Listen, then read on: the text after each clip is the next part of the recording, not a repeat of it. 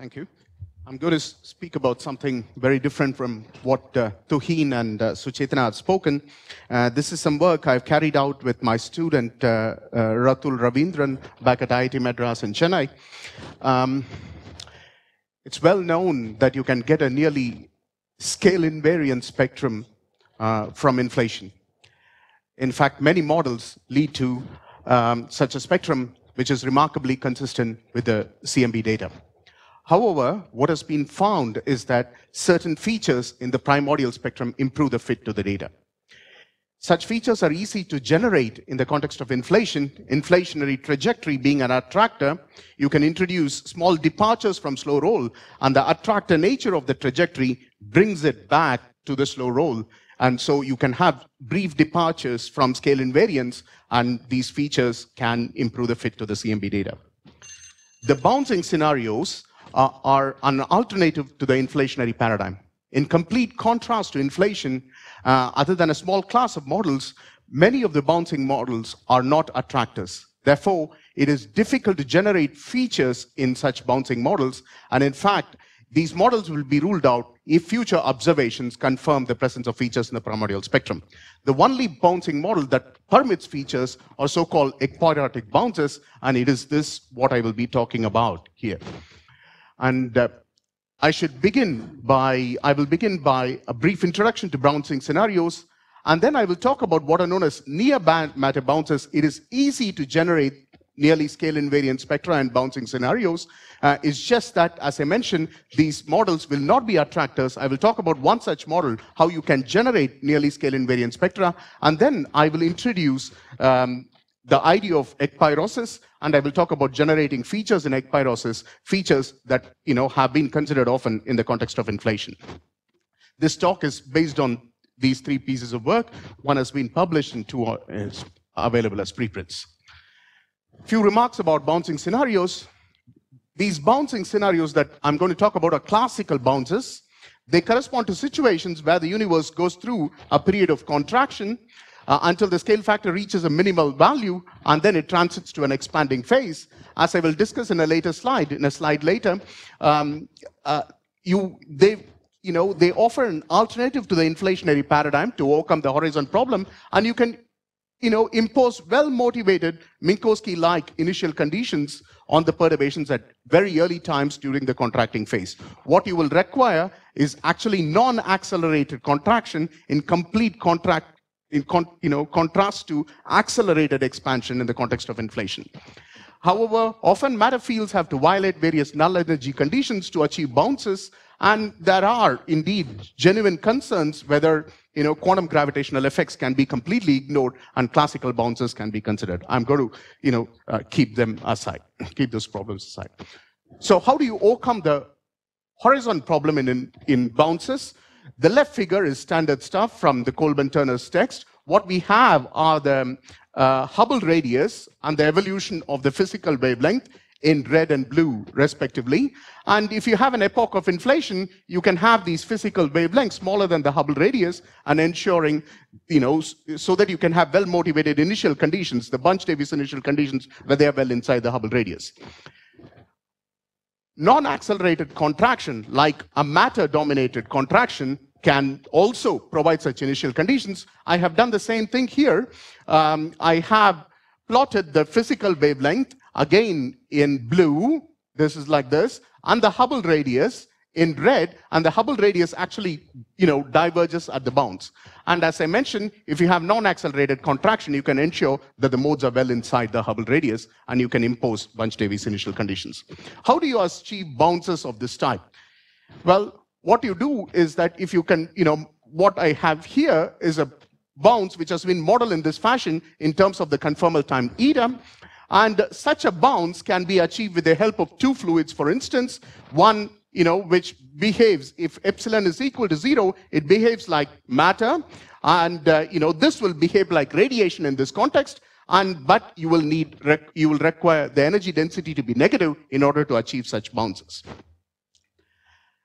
How do you model with the help of scalar fields? You can model this with the help of two scalar fields, one canonical scalar field to achieve the matter contraction, and another which has negative energy density, a ghost field, and uh, it can be completely, you know, the scale factor that I wrote down here can be completely modeled in terms of these two fields, and the epsilon, there are two parameters here, the epsilon and the rho naught, rho naught will set you know, the scale of the amplitude of the perturbations and epsilon will determine the tilt in the perturbations. You have two fields, you can solve for the perturbations, the scalar perturbations and the tensor perturbations, and what I have here are the evolution of these perturbations in these bounces. What I didn't bother to mention is the script n, and which is appears here, it is, you know, instead of writing as an as e power n, you know, which can describe only, you know, if n is positive, which can, you know, I'm sorry, which is only a growing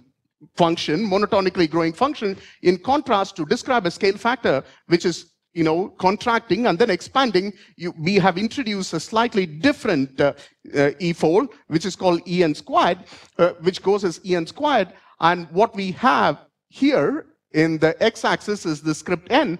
And as is well known in these models, what you have is that the perturbations grow very rapidly as one approaches the bounds, and once the expansion sets in, they, you know, they sort of stabilize. You have that curvature perturbation in blue, the tensor perturbation in red and the isocurvature which decay after the, um, in the, once the expansion starts. And in this particular model, you can show that the tensor to scalar ratio is rather large, like 20 or so. And you know, because of this rapid amplification of the curvature perturbation close to the bounds, it ends up being 10 power minus 6 or so after the bounds. Now, in the context of inflation, there have been various features that, that have been generated and studied compared with the data. Um, and these features can be broadly classified as follows. One which leads to a sharp cutoff on large scales. Another which leads to a burst of oscillations corresponding to L equal to somewhere between L equal to 20 and 30, which improves the fit over those scales.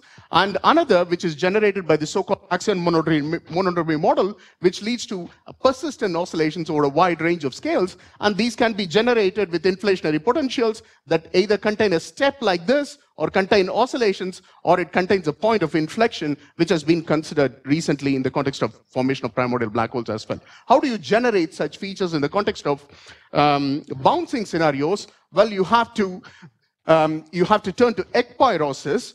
The bottom line is as follows: If you're working with a scale factor of this of this type, and you want a stable contraction, it is very simple to achieve. You know that the you know, power law scale back scale factor can be achieved with exponential potentials. You can achieve such contraction with an exponential potential, just that the potential, this has to be negative. V naught has to be negative. And this is the standard ekpyrotic scenario. And what one can show is that if lambda squared is greater than 6, which corresponds to stiff matter, you can have an, you know, uh, uh, phase of stable contraction. And we would try to generate features within, by introducing features in the I'm sorry, in this ekpyrotic potential.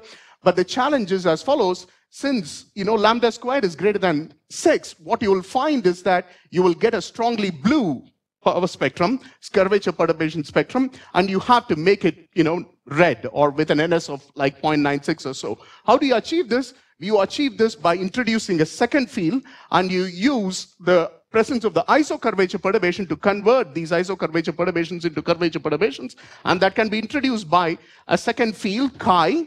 Uh, we have the, the original potential, the exponential, exponential potential, and introduce the second field chi, and you introduce a turn in this trajectory. What it leads to is as follows. There is a coupling uh, function, which I've called xi, which relates, uh, which determines the effect of the isocurvature on the curvature perturbation. As the field turns, you have a sharp, you know, rise and fall in xi, which sort of amplifies the curvature perturbation in blue and the isocurvature perturbation, which is always growing in this contracting phase.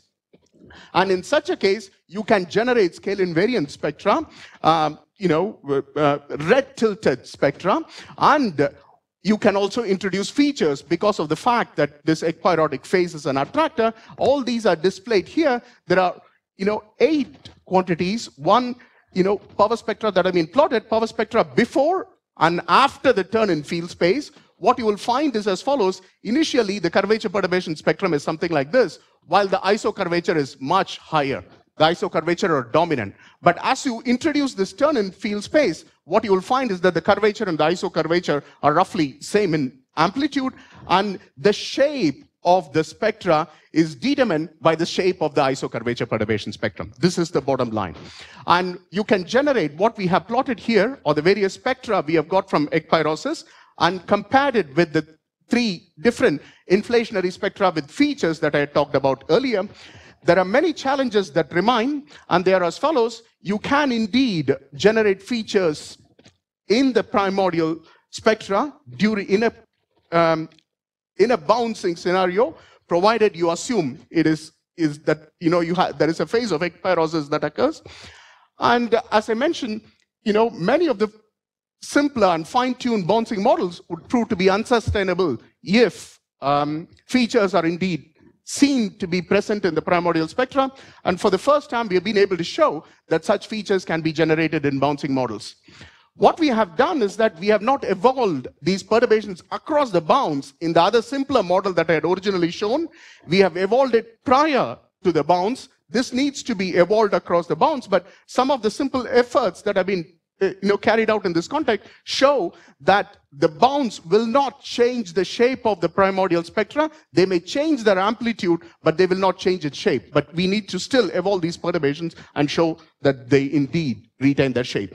And the last thing is related to non-Gaussianities. Non-Gaussianities can be large in these bouncing models. This is something we are currently investigating. What is the non-Gaussianities associated with features in the ekpyrotic phase? Thank you. Ram? So questions?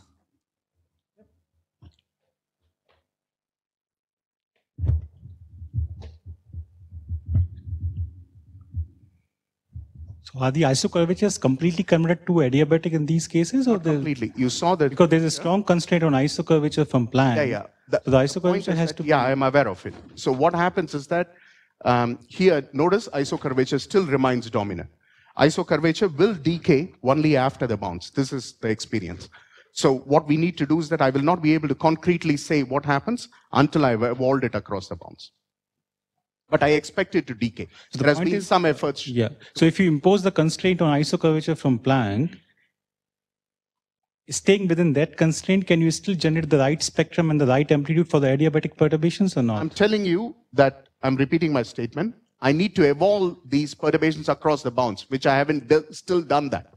Okay, but there has been efforts uh, uh, by um, uh, Fertig et al., um, uh, Luc Lehners and others at Max Planck, where they have evolved. And some, in those cases, in all the cases, I know isocurvatures decay after the bounds.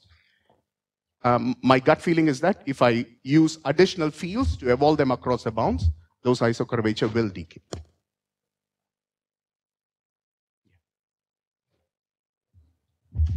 Uh, so the precise evolving through the bounce, I guess, depends on the mechanism you use to resolve the singularity. And I guess these guys had a particular model and this Fertig et al., they yeah. have at least, there are two or three models I know yeah. uh, where they have been able to evolve across the bounds. And uh, uh, very, you know, uh, small k compared to the k uh, corresponding to the bounds remain unaffected. What will happen is that the amplitude will shift. One has to be careful in the presence of features because, you know, in a scale invariant or nearly scale invariant, shifting amplitude will not affect considerably.